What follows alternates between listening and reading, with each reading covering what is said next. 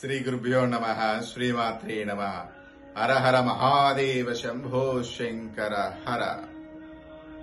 భగవద్భక్తులందరికీ ఆ పరమేశ్వరుడి యొక్క అనుగ్రహం పరిపూర్ణంగా ఉండని రేపు మహాపర్వదినం మహాశివరాత్రి. శివరాత్రి రోజున స్వామివారికి విశేషంగా మనం భక్తి శ్రద్ధలతో వహించేటటువంటి పూజ స్వామివారు స్వీకరించి సర్వ ఐశ్వర్యములను ఆరోగ్యము ఆనందములను ప్రసాదించేటటువంటి వాడే పరమేశ్వరుడు.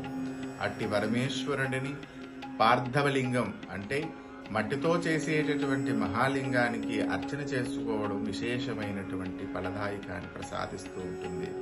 అవకాశం ఉన్నవాళ్ళు మహాలింగార్చన మూడు వందల అరవై ఐదు లింగాలతో అభిషేకించవచ్చు అలాగే కైలాస ప్రస్తారము సహస్రలింగార్చన ఇలా స్వామివారికి మహన్యాసపూర్వక రుద్రాభిషేకములు బిల్వ అర్చనలతో స్వామివారికి అర్చన చేసుకోవచ్చును.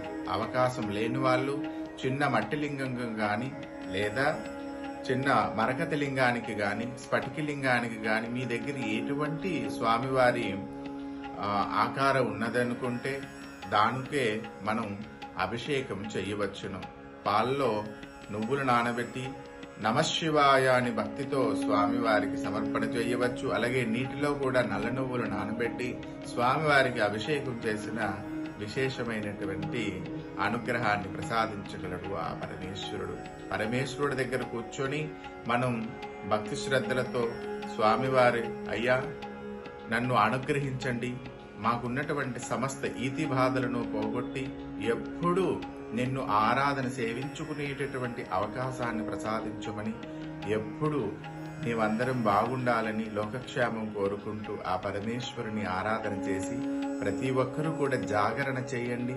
జాగరణ అంటే నామస్మరణ తప్ప ఇతరితరమైనటువంటి వ్యాపకాలు మాత్రం చెయ్యకూడదు ఆ రోజున. ఎందుకంటే సాక్షాత్తు కైలాసం నుండి పరమేశ్వరుడు లింగోద్వకాలంలో వస్తారని ప్రతీత ఉంది. కనుక మనమందరము కూడా ఈ రోజు ఆ పరమేశ్వరుని అర్చించుకునేటటువంటి అవకాశాన్ని మనం స్మరణతో కూడా స్వామివారిని ఆరాధన చేయవచ్చు. కావున మీకున్నటువంటి ఈతి బాధలన్నీ పోవాలని ఆ పరమేశ్వరుని కోరుకుంటూ మీ స్వామీజీ శ్యామలానందనాథ శ్రీ గురుభ్యో నమ.